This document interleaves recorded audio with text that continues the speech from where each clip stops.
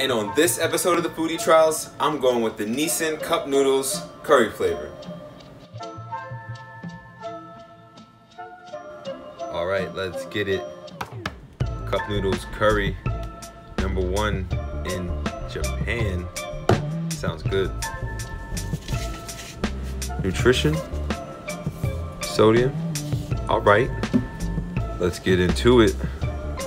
No time to waste. Got a lot of love in there. Smell is phenomenal. Ooh, this might be a hitter.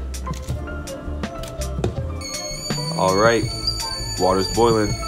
You know what to do. All right, water's boiling. We got some good veggies in there. Good powder, a lot of curry, a lot of smells. Let's check on that flavor.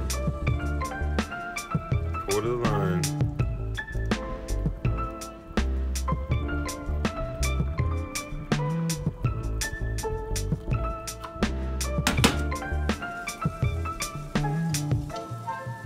Play for good measure. Three minutes.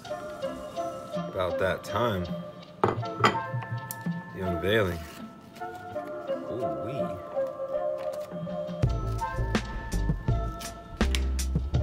Oh man.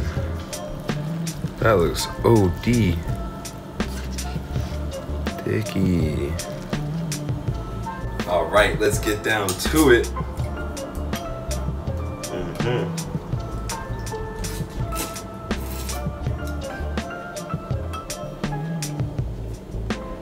Yo,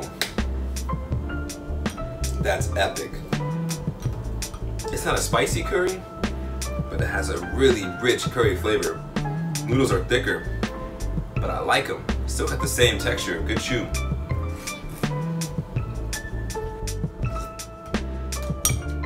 Wow, the broth, kind of creamy almost.